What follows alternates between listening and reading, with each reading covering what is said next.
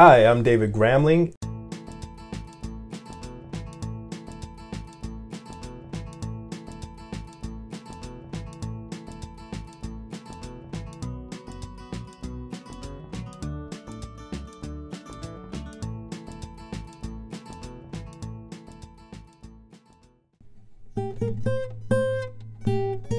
Thanks for taking the time to get to know me better.